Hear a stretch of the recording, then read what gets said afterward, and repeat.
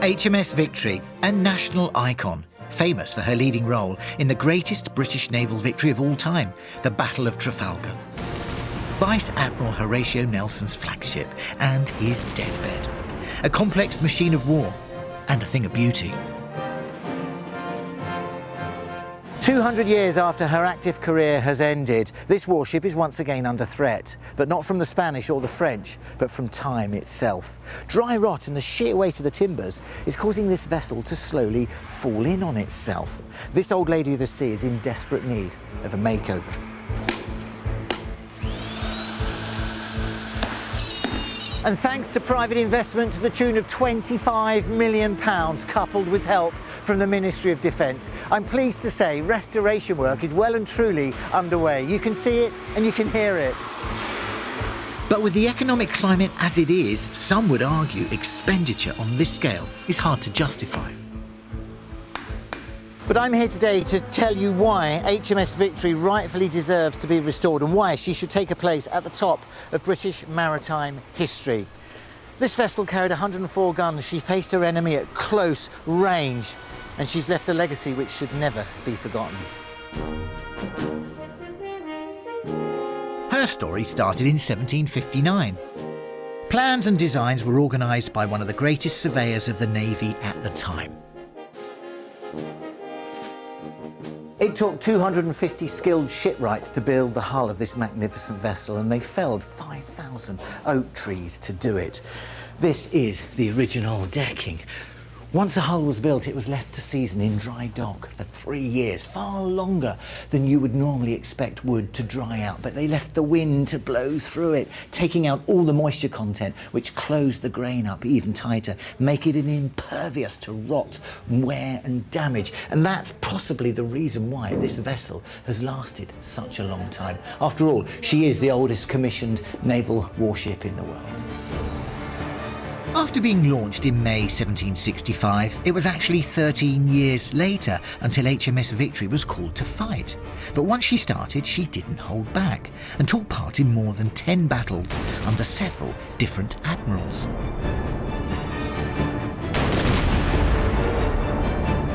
But her biggest fight took place in 1805 against the increasing threat that was Napoleon Bonaparte.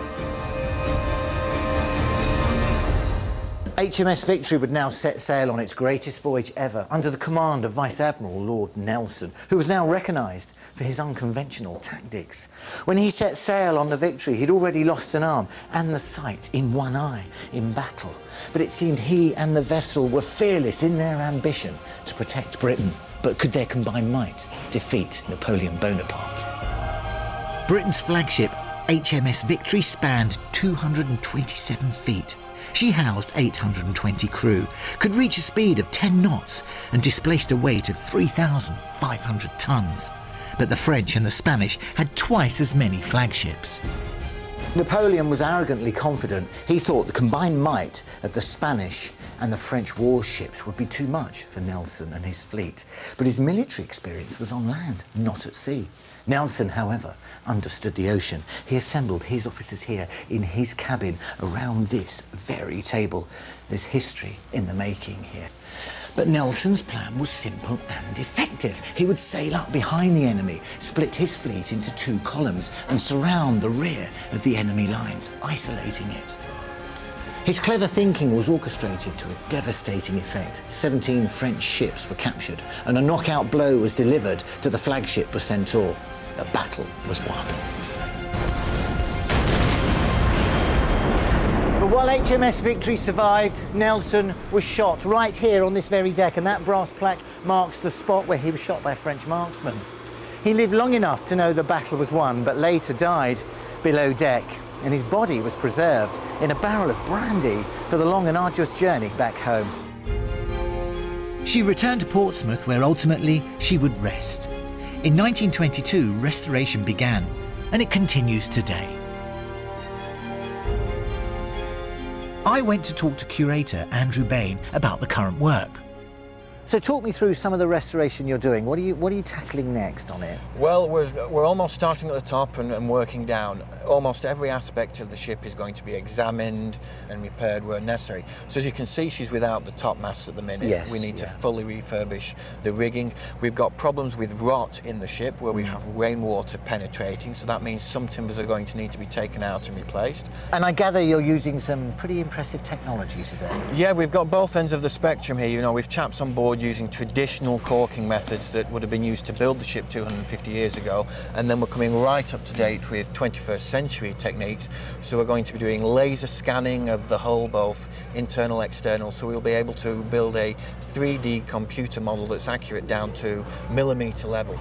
But we're going to be doing a lot of conservation work as well. So making sure the original material that we do have Yeah. is protected. So I or my replacement can stand here 50 years from now and still say you're walking the deck that Nelson would have walked.